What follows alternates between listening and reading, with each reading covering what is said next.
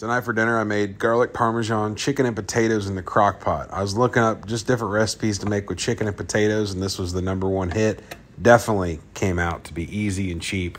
Let's get into how you make it so you can save this recipe for later. All right, start out with four to five cleaned russet potatoes cubed up in the bottom of your crock pot. Two tablespoons of olive oil over the top along with your seasonings. You can just use salt, pepper, and garlic. I had garlic parmesan seasoning already in the cabinet to use up along with some paprika. Then I tossed in my cubed up chicken along with my ranch powder. If you don't have a ranch bottle, you can use a packet. It's the same thing. Little SPG on the top to season up that chicken. Coming in with a swish bang of Sweet Baby Ray's garlic parmesan sauce. You can use the Buffalo Wild Wing stuff if you like. This stuff just comes in a little bit cheaper. Low and slow, six hours, stirring every hour in between. Last 10 or 15 minutes, we're going to toss on eight ounces of fresh Colby Jack.